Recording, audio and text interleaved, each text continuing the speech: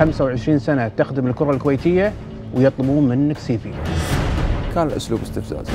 يا رجل الاتحاد الكويتي ما كلفوا على نفسهم درع يسلمونك اياه بيوم المباراه درع. حصل مشادة بينك وبين السيد مرزوق الغانم. خل مرزوق الغانم على جنب وخلنا نتكلم في موضوع. حاولت إنك تقدم دروع إلى الشيخ أحمد الفهد. الشيخ طلال الفهد. وما استقبلوك؟ للأسف. هذا الأمر اللي حصل. تعمد ولا طبيعي في شيء أكثر من الصدمه المشادة اللي بينك وبين الإعلامي جعفر محمد. طاردينك طرد كنت أنا بحسن النية مع أنه ماكو نية. ما هي أسباب الاعتزال؟